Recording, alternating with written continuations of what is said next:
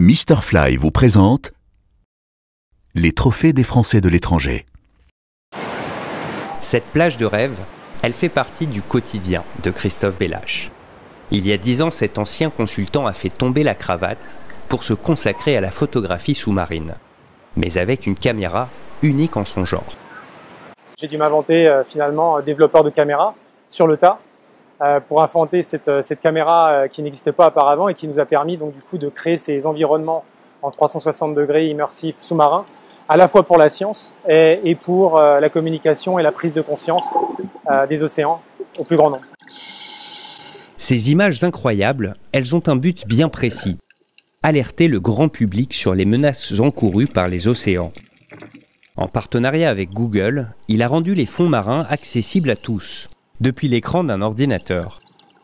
Certaines de ses plus belles photos sont actuellement exposées à Sydney. Leur but Souligner la beauté, mais aussi la fragilité du monde marin. Cette image vraiment représente l'impact du changement climatique sur les océans et sur les récifs coralliens en particulier.